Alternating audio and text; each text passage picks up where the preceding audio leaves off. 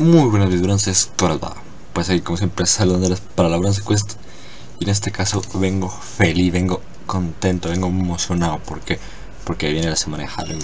Y tan bonita que es la semana de Halloween Con sustos, con películas, con dulces, etcétera. Pero lo más bonito fueron que se cuentan historias, no sé si Entonces a mí lo que más me gusta en este caso va a ser contarles historias a ustedes. Así que en esta semana voy a traerles varios videos, y más que uno diario más o menos donde les voy a estar contando ya sea alguna historia, algún crimen o algo en específico. Así pues, y hasta tengo los ojos ahí un poco para todos lados, ahí un poco ahí ensangrentados y todo tal cual. Porque ya encontré varias cosillas que les va a gustar. Así que esperamos que esta semana Halloween esté a tope. Así que esta semana de Halloween 2017 voy a tener varias cosillas. Así pues, empezamos de una vez. Bueno, aquí con hasta con la camisa de los expedientes secretos a tope y para contar historias, si no, no vale.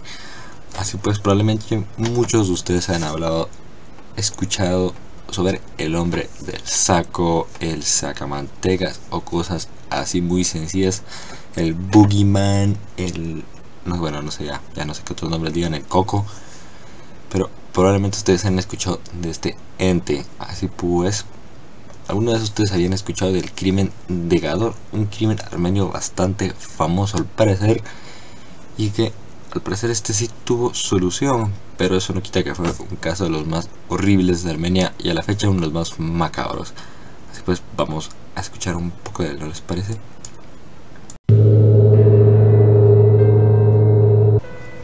Bueno, como todo en esta vida, el crimen del El Sacamantecas, el crimen de Gador, pues este crimen almeriano va a empezar con sus personajes. Así pues, de este modo vamos a empezar con el personaje llamado Francisco Ortega, apodado El Moruno. Así pues, este era un hombre acaudalado de mucho dinero, mucho paro. Pues era dueño también de muchas tierras, pero sufría de un mal en general, que era la tuberculosis.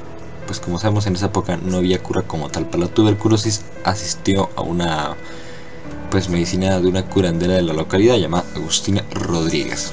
Pues bueno, Agustina trató a Francisco, le aconsejó que fuera a ver a Francisco Leona, un barbero y curandero que ya tenía crímenes en antecedentes. Así pues, una vez este, este señor Francisco se entrevistó con el barbero Leona, le pidió 3.000 reales a cambio de una cura. Pues bueno, ahí todo va bastante bien, ¿no? La cosa es que esta cura consistía en algo bastante macabro, que consistía en beber la sangre de un niño sano recién salida de su cuerpo y ponerse unos emplastes en el pecho hechos a partir de la sangre corporal de este niño que supuestamente lo sabría enseguida. Así pues, Leona se comprometió con Francisco y buscarían a un niño sano. Primero intentaron comprar un niño en las familias más pobres de la zona, pero obviamente ninguno aceptó. A la desesperada de no poder cumplir con el acuerdo, decidieron secuestrar a un niño. En la tarde del 28 de junio de 1910 salió junto con el hijo de Agustina. Así pues, Julio Hernández era llamado ese que lo apodado el tonto, en busca de algún niño que pueden secuestrar sin ser vistos. La víctima elegida para este caso fue Bernardo González Parra, de 7 años, que se había separado de sus amigos mientras jugaban pues León el barbero y Julio lo durmieron con cloroformo, lo introdujeron dentro de un saco y lo llevaron a cuestas caminando por un campo en dirección a un cortijo en Ardoz. Así pues, cuando se encontraron aislados de este pueblo, se le avisó a Ortega que llegaban a la casa de su esposa llamada Helena. Una vez llegó también este señor Ortega y todo el mundo estuvo ya en la casa, sacaron al pobre Bernardo del saco posiblemente el niño ya estaba despierto. Imagina el pobre niño ahí que le sacan el saco y diga, joder, ¿y aquí qué hago? sería, sería que, que este de Halloween y tiene que dar miedo, ¿eh? Si no se pierde el todo. Que si no. Bueno, la cosa es que cuando le sacaron el saco a Bernardo, posiblemente ya está despierto. Y sí, sí está despierto. La cosa es que le hicieron un pequeño corte en la axila donde comenzaron a sacarle sangre. Recogieron un vaso y Ortega comenzó a beberlo, o sea, Francisco. Mientras Julio, el hijo de la señora, comenzó a golpearlo con un garrote en la cabeza, o sea, con una gran piedra. Mientras tanto, León abrió el vientre del niño y extrajo la grasa envolviendo todo en un pañuelo. Puso sobre el pecho del señor Ortega. Una vez terminado el supuesto ritual, llevaron el cuerpo a un lugar conocido como las Posicas. Y una grieta en la tierra echaron al pobre niño muerto, obviamente. Lo taparon con hierbas y piedras.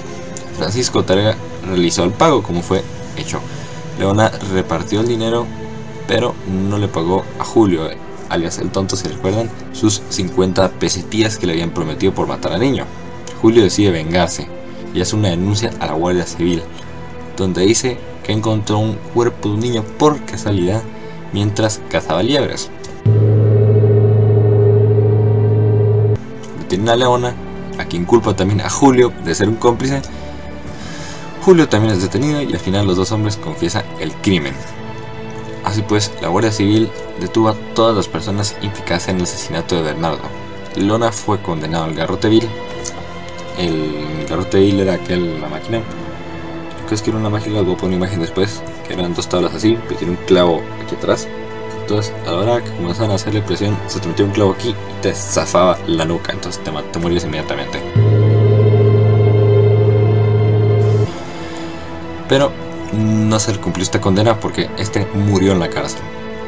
Ortega y Agustina también fueron condenados a la pena máxima que era morir y ejecutados. José fue condenado a 17 años de cárcel y su mujer Elena fue absuelta porque realmente la organizó. Y Julio, el tonto, finalmente fue condenado a su muerte también, pero resultó indultado por ser considerado demente.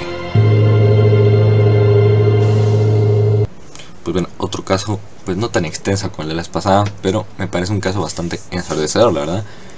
Pues bueno, este va a ser el primer caso esta semana de Halloween que va a tener correlación con el de mañana. Así pues, espero que les haya gustado este video. Si les gustó, pues denle cariño. Y como sabemos, este es el segundo video que hago de terror. El primero fue el de la granja Hinter Kaifek, que ya lo subí hace un mes más o menos. Así que espero que les haya gustado. Pues miren el video anterior también. Y pues mañana subiré el video que viene correlacionado con este. Así pues, los miro hasta la otra. Y espero que tengan una buena semana Halloween como yo. Y como ustedes vamos a tener aquí en el canal. Pues hasta la otra. Este fue Bronze Quest. Adiós.